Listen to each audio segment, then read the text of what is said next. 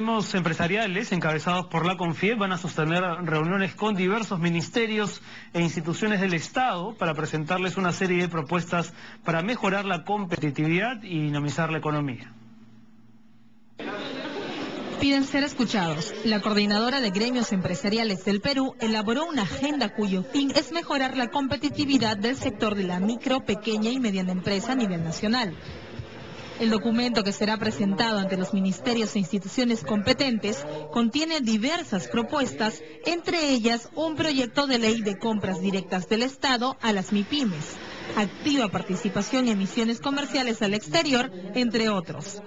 Los empresarios también plantean eliminar la obligatoriedad de crear un comité de seguridad y salud en el trabajo para las MIPIMES con menos de 50 trabajadores así como eliminar la facultad del Ministerio de Trabajo a imponer indemnizaciones en caso de accidentes de trabajo.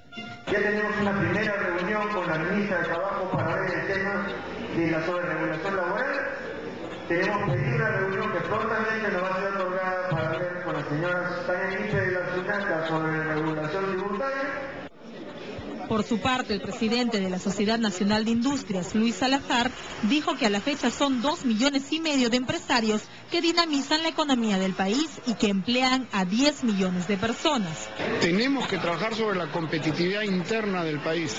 Eh, tenemos muchos sobrecostos, como justamente se ha mencionado ahora, la sobreregulación eh, laboral, la sobreregulación tributaria, eh, también hay temas de infraestructura que hacen que hayamos perdido algo de competitividad Salazar agregó que las sobreregulaciones laborales generan que del total de la población económicamente activa, el 71% tenga un empleo informal.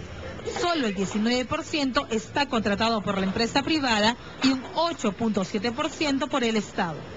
Sandra Martel, RPP Noticias. Bueno, una gente